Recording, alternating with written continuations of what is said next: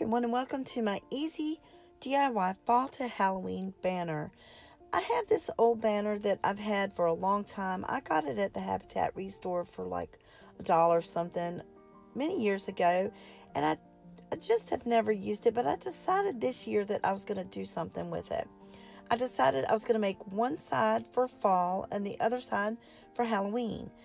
I had some buffalo check food papers made by Hearth and Home that I had gotten from Target two, probably two years ago.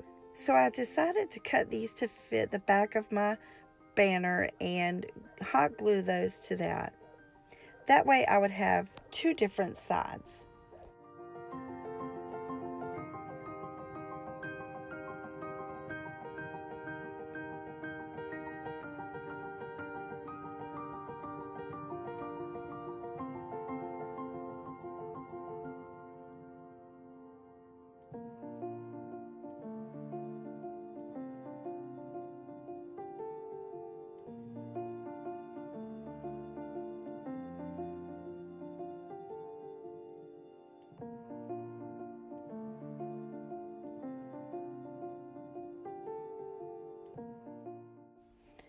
I used some Dollar Tree poster stickers to spell the word gather for the fall side.